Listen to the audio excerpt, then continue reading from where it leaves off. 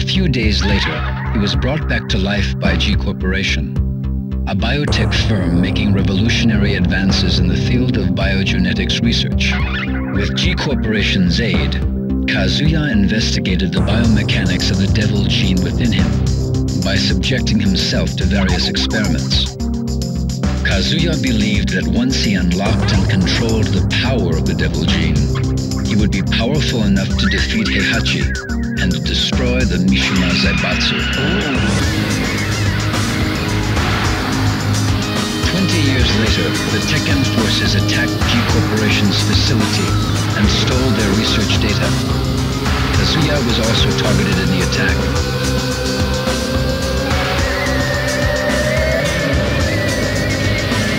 Kazuya was infuriated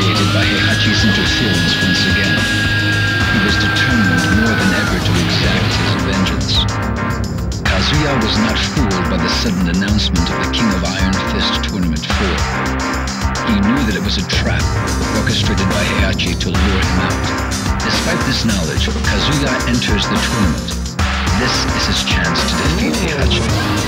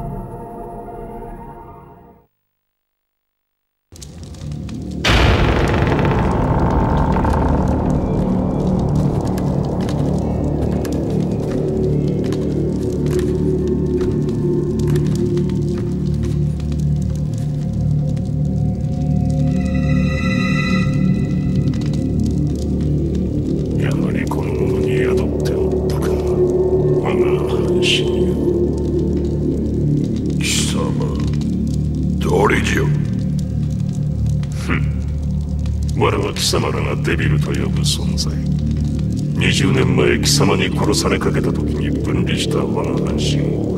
こやつから取り戻す。今こそ我が復活の時。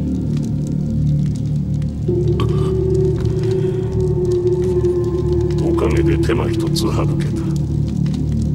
褒美に我が力を味わわせてやろう。どうした？貴様らの科学で我を研究し尽くしたのではないのか？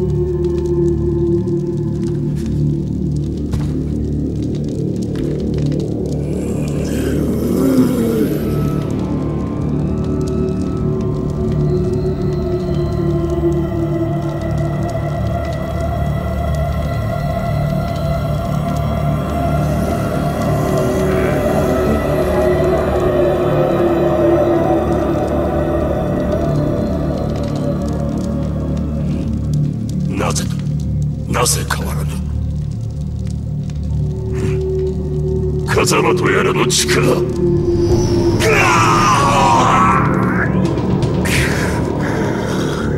和也貴様。なぜ？まさか。なるほど。力の統合にこんな手もあっ様の出番もここまでだ。俺の中で。溶けてゆくがいい。あとは貴様を殺せば全て俺のものだ。目覚めろ風間